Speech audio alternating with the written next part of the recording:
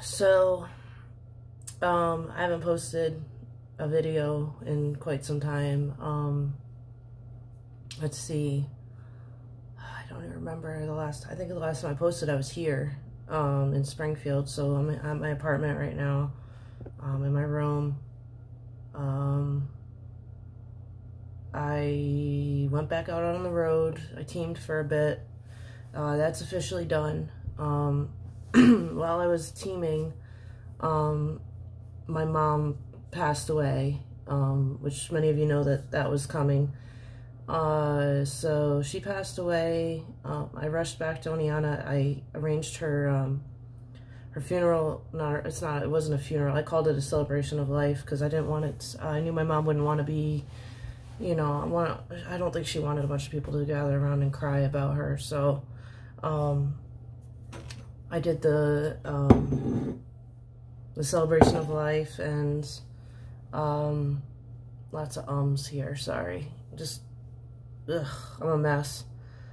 So we, uh, I, I got a hold of my fleet manager, uh, and I told him that I need to be solo now because I just need my space. Nothing against anybody in particular. I just, um, going through a lot, and I would like to just be able to properly uh, mourn and grieve and just heal on my own. I don't really want anybody around me.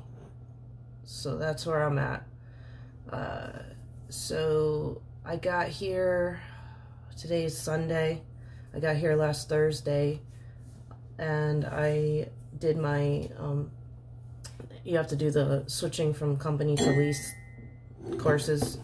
So I went through all that stuff and I, uh, I, I looked at trucks yesterday, but they didn't have any new ones. They had new ones when I was there on uh, Friday, but I wasn't able to look at trucks in time. And there was nobody looking at trucks, so they were going to let me look. But she said, well, why don't you finish your last class on Friday, and uh, I'll let you look after. And then, of course, like five minutes before the class was over, someone put their name on one of the last new trucks.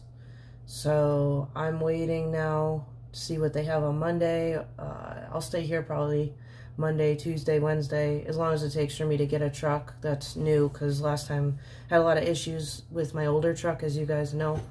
Um, well, actually, I don't know if I really elaborated on that too much, but it was stupid, and I don't want to deal with that again. So, yeah. So that's where I'm at, and I will post a video when I get my truck. Give you guys a tour. Um, this necklace I'm wearing right here belonged to my mom, so that's cool. Um, it's very shiny. I have this light right above me, so hopefully it's it's catching the light good. And uh, yeah, I don't really have anything else to share with you guys right now. I'm just uh, doing the best I can right now to hold it together. Uh, I miss my mom a lot. Sucks what happened because found out she was sick in um, April and she passed away in October. So it was quick. It was too quick for me. And um, yeah, I'll be, I'll be, you know, now that I'll be solo, I'll have more time on my hands. I'm going to try to catch up on my schoolwork that I fell behind on. Failed one of my classes, so now I have to petition to get that grade dropped. Uh, and um, yeah, don't mind the hair right now. I dyed it this like really dark purple color, but it's turning almost like a fuchsia color as it washes out. But I dyed it really dark purple for my mom's uh, memorial service because that's her favorite color. So it's like this dark royal purple. It's actually kind of like how it's washing out, but it's not really something I would have went for. But yeah. And um I don't know. I I another weird thing is I have um I have like some of my mom's ashes in this little plastic thing because we buried most of them. Uh, my brother had has a little plastic thing of her ashes too. And now I don't know. They're up on that shelf over there, back there. I'm not gonna go grab them or anything. But um, I don't know what to do with them. I keep having like nightmares that I spill them. Like anxiety dreams about it. So I gotta figure out what to do with those.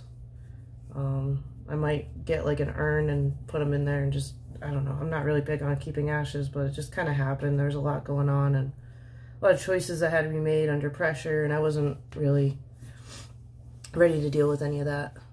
Uh, luckily, I was able to go visit her one last time because um, I came back out here and then uh, heard that she was declining within a couple weeks, so I went back there. It's been like financially horrible just running back to New York every couple of weeks and staying there a week. I can't really afford that. So the good thing is now that all that's over with, I don't really have to uh, deal with running back and forth anymore. But still, you know, stupid that this happened. But I'll be all right.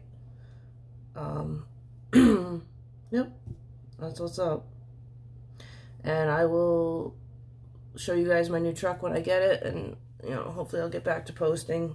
Um, just been, you know, under a lot of uh, pressure and stress, and the things are starting to settle down finally. So I figured I'd pop in and let you guys know what the deal is. Um, yeah, so I'll talk to you guys soon.